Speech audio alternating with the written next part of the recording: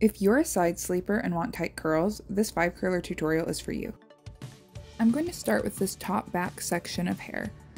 Lift it high, give it a good brush, then spray it with some water so it's nice and damp but not super wet.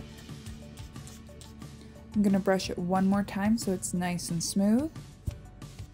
Now I'm putting the curler behind the hair and squishing a little as I wrap, that way I can get slightly tighter curls. This curler is wrapped differently than the other curlers because I'm going to fold it in half and make a little bun at the top of my head. Just like this. Open the net and pull it over once. I'm going to split the side of my hair into two big sections. Starting with the front piece, I'm going to do the basic process, spray it with water, brush, then wrap my hair around the curler. I'm wrapping my curls away from my face and I'm squishing the foam as I wrap to create tighter curls. The way I'm wrapping this curler is how I will be wrapping the rest of my hair. This next part is important. When I get to the bottom, I hold my hair on the curler with one hand, then I open the net with the other. Once my hand is in the net, I grab the ends of my hair, then pull the net all the way over the top of the curler. Now I'm going to take the other side of the elastic and pull it over the top of the curler for a second time so it's extra secure. The rest of the curlers are going to be wrapped like the curler we just did. Make sure each piece is slightly damp and brushed well before you begin wrapping. It's also important to make sure you take even amounts of hair and wrap them as tightly as the first curler we did to get consistent curls. Cozy curlers are a very versatile curler, so if you wrap a big section of hair around the curler loosely, you're going to get looser curls.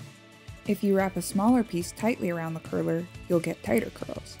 And if you wrap a big section tightly, you're still going to end up with slightly tighter curls than if you were to wrap them loosely. Okay, so here's what they look like down, but they aren't going to stay that way. This is my favorite hack for anyone who wants their curlers completely out of the way, and all you need is a scrunchie or two. Take the two front curlers, then put them next to the curler we wrapped in a bun. Put the scrunchie around the three curlers so it looks like this. You can use another scrunchie for the bottom two curlers, or you can tuck them into the top scrunchie like this.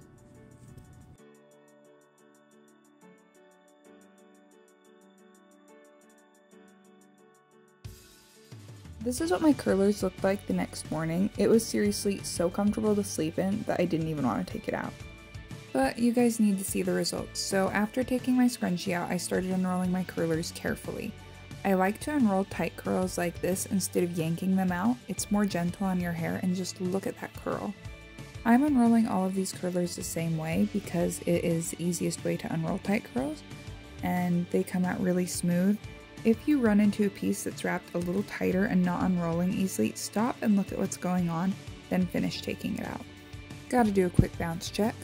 And on to the last curler. Now we're done unrolling, so it's time to separate these curls. Before I fluff my curls, I'm going to add a few drops of hair oil to my hands and run it through my hair.